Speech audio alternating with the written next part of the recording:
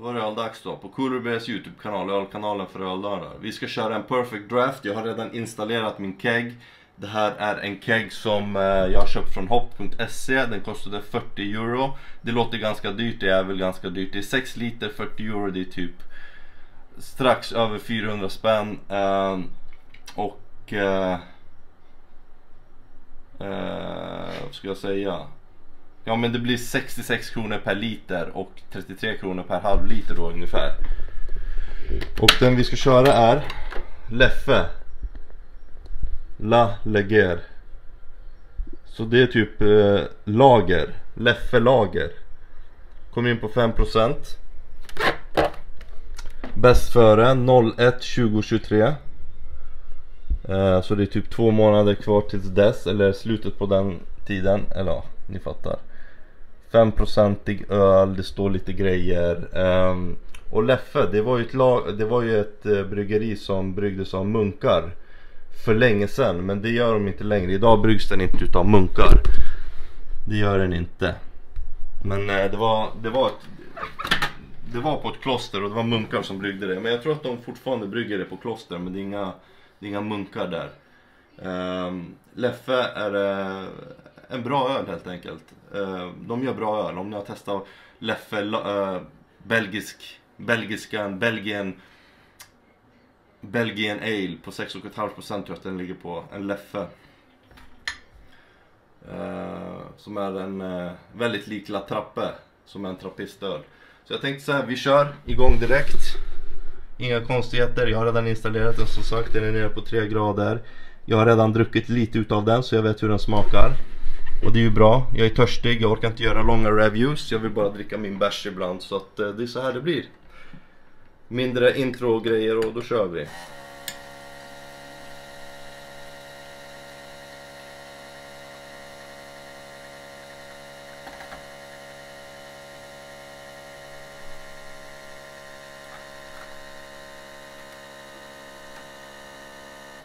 Den här ser ju fin ut.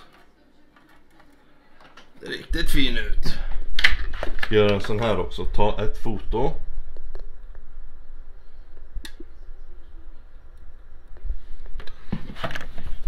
Sådär. Och så.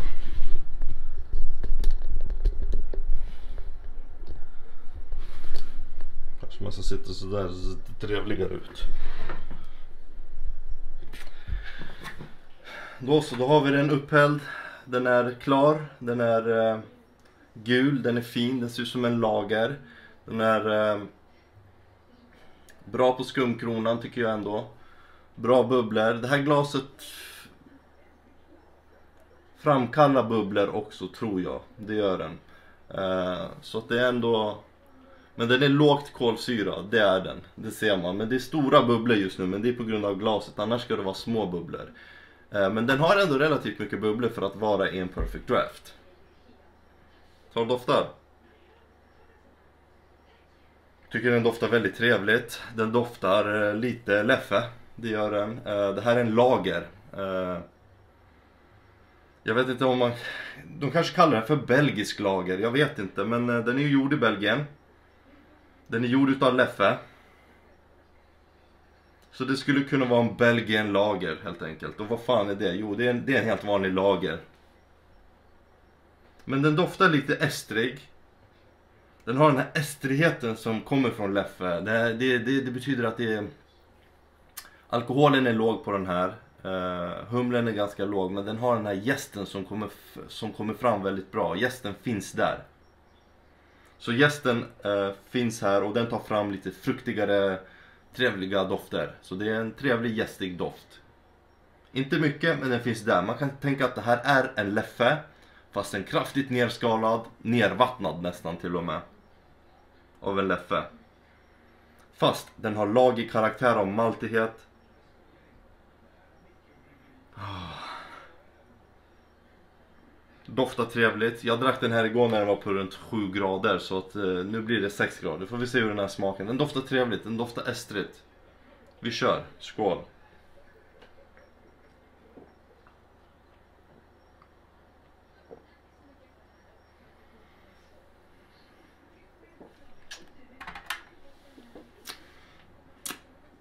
Jävlar vad kall den är. Alldeles för kall. Tre grader är för kallt för en sån här öl. Fast det är en lager, den ska vara kall. Eh, på sommaren kan den här vara dunder. Men jag måste säga att den här smakar faktiskt lite skillnad från när den var på 7 grader. Jag skulle nästan rekommendera att dricka den här lite varmare. Eh, 6-7 grader är nog bättre. Maltigheten kommer fram mera, fruktigheten kommer fram mera från gästigheten. Men nu istället, den blev mer crisp. Den blev crisp, den har fortfarande bra mouthfeel, men den känns ändå lite vattnig. Mm. Men jag måste säga att den här är ändå jävligt god. Um, igår var jag lite tveksam. Jag var så här. Den här ölen, det är så här. Antingen kommer du älska den eller så kommer du så här nja, nja den. Alltså det här är, så det här är väldigt svår öl. Den är bra men dålig. Den är inte så söt, den är mera torr. Den känns mer torr, så den har lite mer beska. Torr, lite mer beska. För sötman är inte så, så framme där liksom. Sötman är inte riktigt där. Maltigheten är inte så jättemaltig. Den är maltig men inte så här en Helles till exempel. En Helles lager, där är mycket så här sötmalt. Den har ljus pilsnermalt, det känns. Men den här smakar lite, som, lite mer som en pilsner fast light. Mindre sötma, lite mera estrighet. Men när den är för kall så försvinner lite av estrigheten, den här goda estriga tonerna. Men jag måste säga att den här är väldigt drinkable, alltså crushable. Den är väldigt enkel att dricka.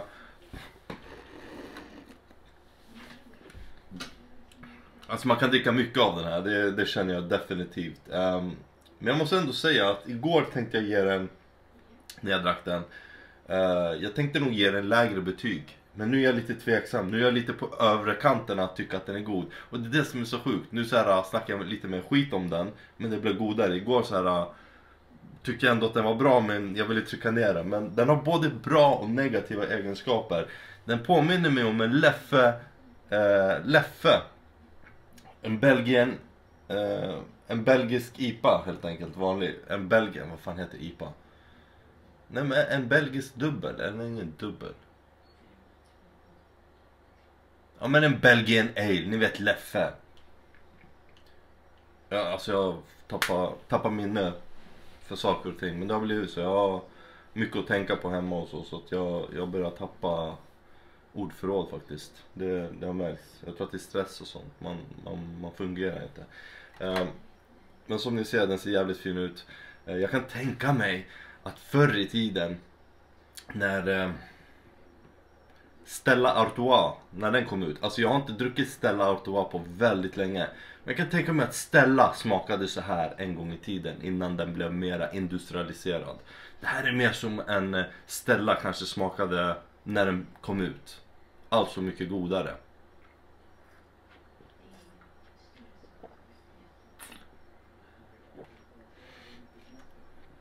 Fem procent Alltså den, den, den dricks verkligen som vatten. Jag tror att den här är alldeles för kall. Ehm, den här ska drickas när den är lite varmare så den här passar inte riktigt på 6% eller på 3 grader. Det gör den inte. Så men jag håller nog fast vid det betyget som jag hade ändå tänkt att lägga igår. Den här blir ingen Cooler Bear det blir den inte. Men den är fortfarande jävligt skön, enkel att dricka. Den är crushable alltså. Det betyder att den är Ja men att det är session, det är som en 4-procentig öl som du sveper. Den här kommer in dock på 5% men jag känner ingen alkoholsmak alls. Jag tror att många kan tycka om den här faktiskt, det är inga konstigheter men den känns nu, när, när den är så här kall så känns den lite vattnig. Det gjorde den inte igår, den kändes inte lika vattnig, det gjorde den inte och då hade den liksom, den var mera mouthfeeling, den var mera Den hade lite mer kropp men nu känner jag att den är nervattnad verkligen.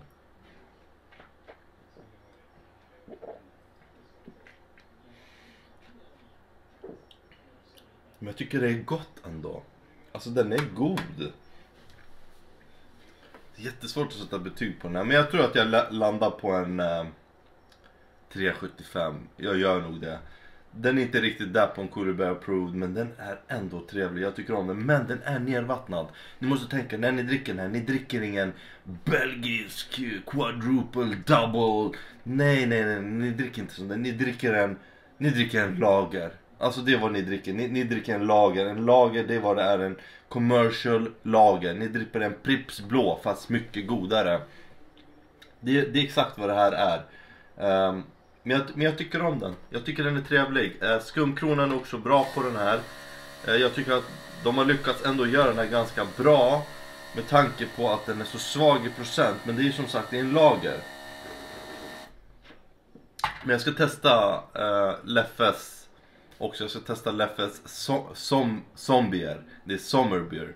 Deras sommaröl. Jag ska testa den också. Ehm, jag älskar att ha lager på Perfect Drafting. Jag föredrar det. Jag har testat andra öl. Jag har testat IPA. Senast jag drack en Vocation Brewery. Ehm, så det är rätt nice. Men eh, Perfect Draft, jag säger det är lager som gäller. Och jag gillar att ha lager på min Perfect Draft. För lager kan man dricka lite oftare. En IPA kan man inte. En IPA det är för speciellare tillfällen, vissa kvällar och sådär. Men en lager den kan du ta exakt när som helst. Du kan ta en skvätt här, en skvätt där. Du kan dricka mycket av den, den är inte så stark. Den är liksom... Uh, du kan ta två öl liksom utan att det märks av utan att det märks att du ens har druckit två öl. Ni ser, jag har fyllt upp den här i princip två gånger så det här blir min andra glas. Man kan säga att jag har redan druckit ett glas. Men ni ser ju, skumkronan är ju dunder. Så därför, jag kommer ge den 3,75. Det är inte det högsta jag har gett på Perfect Draften. Uh, men det är ändå fortfarande ett högt betyg. Fortfarande den som leder av alla de här ölen som jag har druckit, det är helt sjukt. Jag tyckte jättemycket om Jupiler från Belgien. Det är också en sån här Stella Artois dödare. Men jag ska beställa Stella Artois för jag vet att jag... Eh, när jag var yngre så tyckte jag ändå om den så att jag kommer nog ändå ha den här hemma. Eh, men jag har testat Jupiler som jag tyckte var dunder. Jag gav den 4,75 faktiskt eh, i betyg och jag tyckte den var suverän.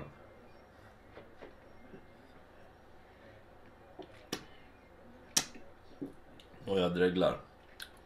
Men men, eh, Stella Artois. Och sen har jag tyckt väldigt mycket om Tenants, Tenants öl. Den, den fick bara en fyra däremot, utav fem. Eh, men jag tyckte om alkoholhalten på den. Den låg typ på 4,1 eller någonting och det tycker jag är dunder.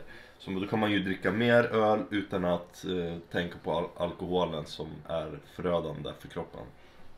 Eh, jag ger den här 3,75 utav 5. Det är väl godkänd plus. Det är ändå en bra öl. Jag kan ändå säga ändå, jag kan ändå rekommendera den alltså om man gillar den här om man gillar Leffe, gillar du Leffe men du gillar även lager väldigt mycket och du vill köpa en lager som har lite påminnelse om en Leffe så är den här ju dunder. Men gillar du inte Leffe så kommer du absolut inte tycka om den här som en lager. Du kommer tycka den här är fett dålig. Då är det bättre att du köper någonting helt annat. Vilken annan pilsner som helst. Köp en Löwenbrau, köp en Spaten. Köp en eh, svensk öl någonstans, Norrlands guld till och med. Den kommer smaka mycket bättre då för dig. Men det var allt för mig. 3,75 utav 5. Vi ses. Skål.